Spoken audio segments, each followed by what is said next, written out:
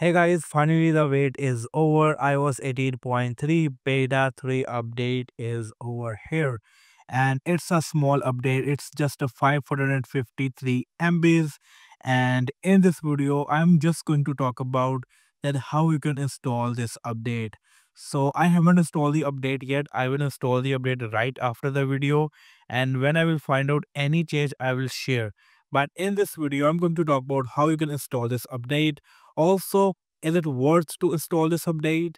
And also, I will talk about how beta 2 was performing so you can get the idea that how beta 3 will perform. So I'm going to cover these all things. Now, without any further delay, let's get jump into this video. So how you need to install this update is simply go to settings from here, go to general, go to software update and over here you will see the update make sure to select iOS 18 developer beta over here. If you are on public beta, you will not see the update because the public beta is not out yet. Once the public beta will out, I will make another video. But for now, developer beta is out and you can install it from here. Now, if you ask me what is new, I haven't installed the update yet. And also, I'm not expecting anything new over here because dot 3 update is not a big update it will be bringing enhancements improvements and minor small changes but if i found any change i will definitely share with you guys so if you ask me that should you guys install this update if you're already on ios 18.3 beta you can definitely install this update but if you are using ios 18.2 or 18.2.1 I will say wait for the public release. Once the public release will be out, you can install this update. I never recommend you guys to install the beta update on your primary iPhone. At the end of the day, it is your choice. If you want to, you can, but it totally depends upon you. However, this video is all about that update is over here.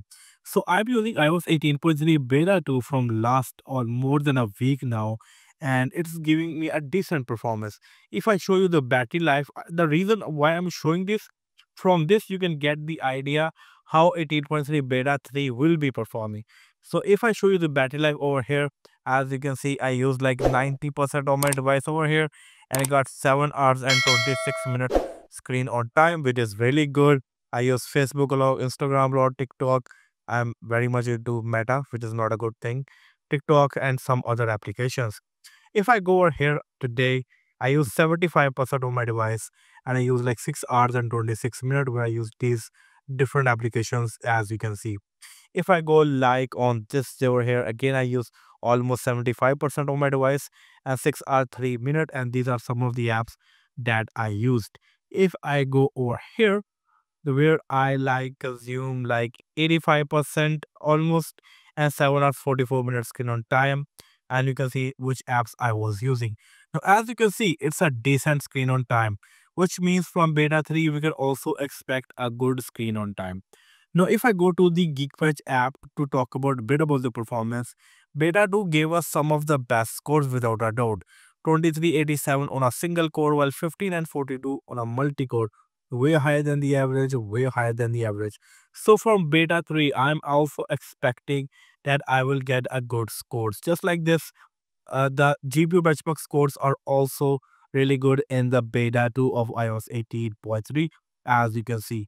So I'm expecting 18.3 beta 3 will also give us a good score. Well, this is all from this video. I just wanted to talk about that iOS 18.3 beta 3 is out. If you want to install it, you can install it.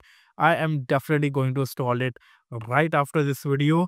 As well, I will install it. I will come back with another video in which I talk about if there is any change. Also, in upcoming follow video, I will also share Geekbench score.